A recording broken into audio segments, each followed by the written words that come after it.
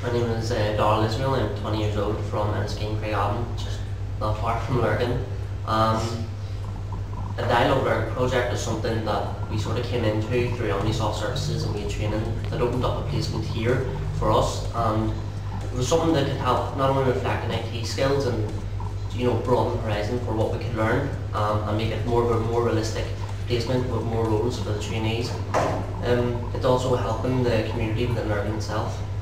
And the thing I found interesting in it is that I've learned new things in terms of social media and skills and the roles I play.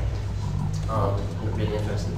I find the project um, different from any of the things I've previously been in as I always worked in a retail experience.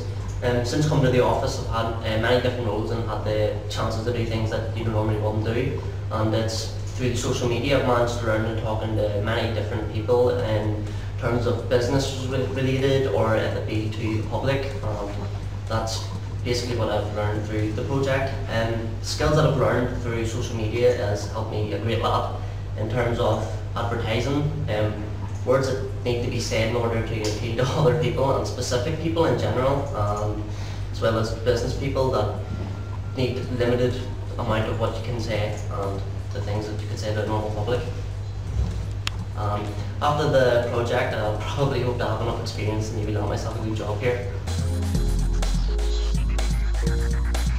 Um, we have three forms on how we use social media is through Twitter and Facebook and through our YouTube.